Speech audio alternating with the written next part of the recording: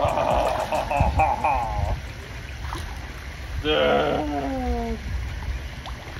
Dude. That's Showa. That guy right there, oh, that's a beautiful fish. Hey-oh, somebody hit the wall. And this is the pond of my man Jolly.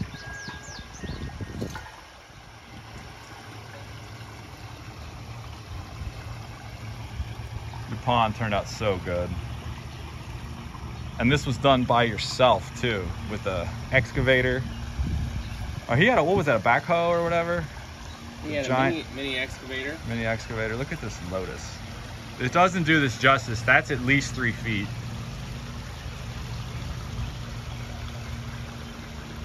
With tons of blooms ready to come.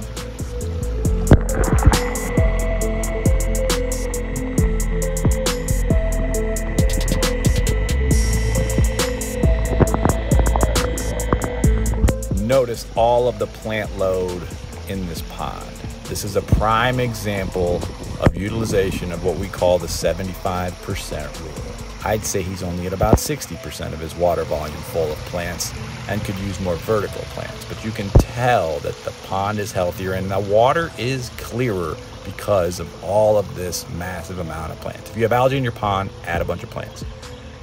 What would you tell your 14 year old self that you would have this pond someday? If you could talk to yourself at 14, what would you tell yourself?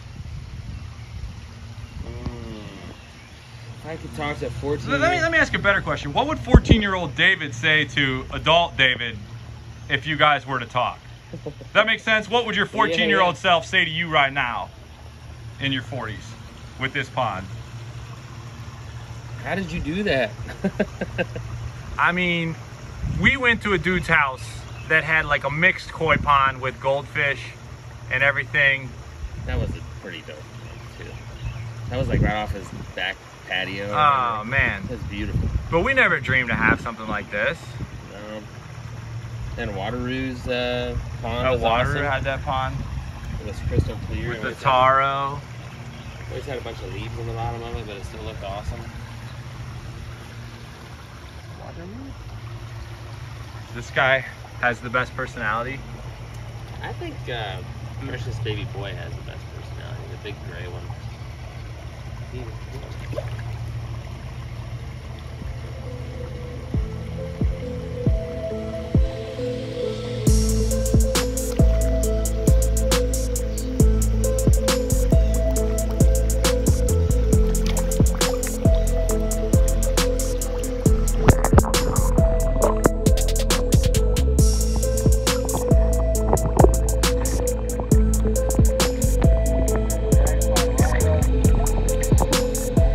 Russell.